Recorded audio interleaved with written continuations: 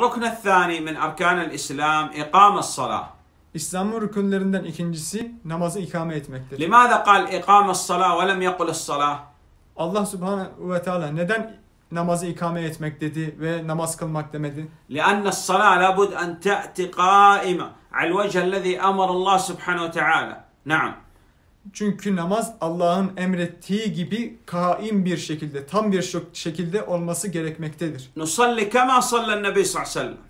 Nebi sallallahu aleyhi ve sellemin namaz kıldığı gibi namaz kılmamız gerekir. Naam. As-salat tenqasim ila kısmeyn. Namaz ikiye ayrılır. Fariza ve nafile.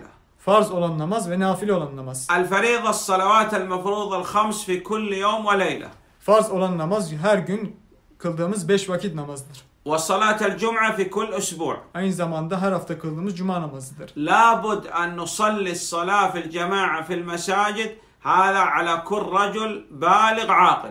Bu beş vakit namazı e, mescitlerde kılmamız gerekir. Mescitlerde cemaatle kılmamız gerekir. Bu da her akil ve bali kimseye vaciptir. Naam ve la netehallef anil cema'a. Lenne lezi yetehallef anil cema'a nesra'afes selam münafık. Vallahu a'lem. Cemaatten de geri durmayız çünkü cemaatten geri duran bir kimse e, münafık bir kimsedir. Nah.